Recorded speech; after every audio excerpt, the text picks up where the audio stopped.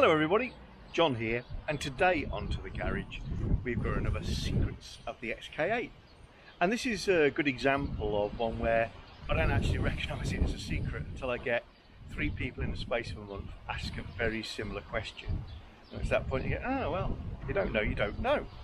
So we're going to look inside our XK8 for this next secret. Okay, so let's start with a question. And obviously I'm paraphrasing, but thanks for sending this in, guys.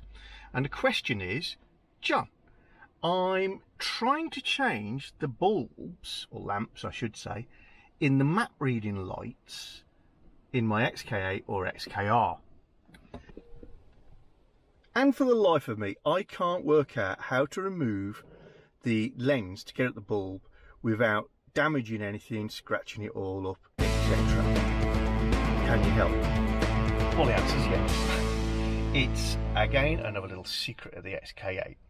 You can't actually remove the lenses at all to get at the bulbs. What you need to do is remove the entire trim piece and then get at the bulbs from above. But there are literally no screws or fixings in this unit. So how do you get to them? Well, the answer is it's very simple. Reach either side of your interior mirror. This you won't have in your car, that's just unique to mine, this round disc. Reach up and touch the glass with your fingertips. Put your fingers against the back of the plastic trim and pull down. It's quite firm, but it will come. There we go. And away it comes.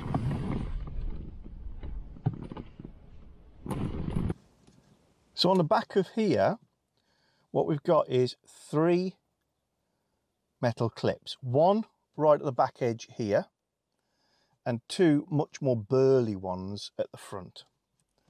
And the reason you're going to be working at the windscreen end rather than the back end is these ones are quite strong and you want to be working them, not detaching this rather weak one, which will come off quite easily, and then levering and basically working the plastic rather than the clip.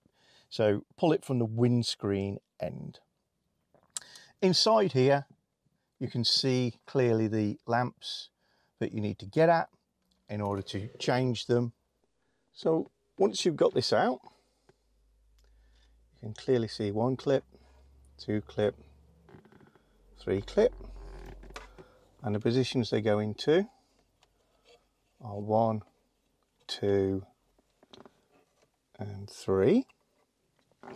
To work on this, there's just one connector. Let's get the lighting, lighting to work. One connector up here, a little white one. Just reach in, a bit hard to film. You squeeze it, there's a little tab on the back. And that will pop out of its connector.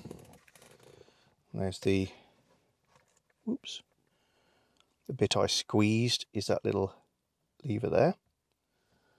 And then you've got the hole fitting in your lap and you can quite easily see the bulbs or lamps. In order to get the lamps out you just need to press a little barb on the side of the black plastic connector uh, down here. Oops. Just there. Give it a little push and out comes the whole unit. You can see the little tangs that I've just depressed and then and then the bulb itself just literally pulls from its connector and has this bent over wire effect for a connection on the back and these are 6 watt 12 volt bulbs. They just push back in. Refitting is even easier. because you can literally just push it into place and hey presto.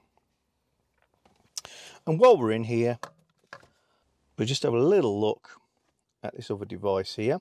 Now mine's a relatively low spec car and very early and there'll be other devices in yours possibly like garage door closers and that sort of thing. But in mine, the only thing we've got up here is the great glass breakage sensor. Uh, basically a volumetric sensor and it's looking for the sounds or the movements associated with somebody trying to enter your car while the alarm system is still active. So if you're having a problem with the alarm system and it's not sensing interior stuff, then this is the unit you're going to be replacing and it just disconnects with a multi-plug here and unscrew it. Um, if you're having false alarms, again, might be worth just disconnecting this and seeing if that's causing the issue or not. And you can see on mine, we've got issue 01, date 28th, 96, um, batch number 96 treble 08 PS 144. Can't say that's the right one for your car because I don't know. Refitting is obviously just the plain reverse.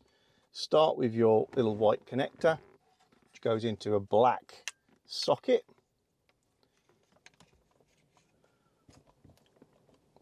Can't get it the wrong way around, won't go in.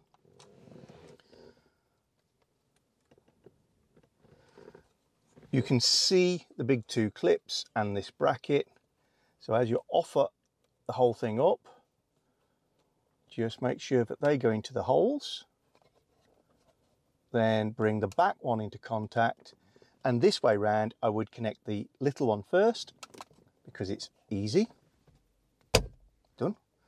And the front two after, like so. And that is the whole thing refitted. So, nice quick one today, guys. If you would like to support the channel, then please subscribe.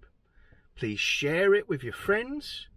Um, we have merchandise which is available on the website, which is www.tothegarage.co.uk and you can go over there and buy a window sticker or a sticker sticker or indeed a beanie hat these days um, more stuff coming on all the time. No obligation ever but um, it's all appreciated and hopefully it's stuff that you guys actually like. And we will see you again on to the garage really soon. So stay safe guys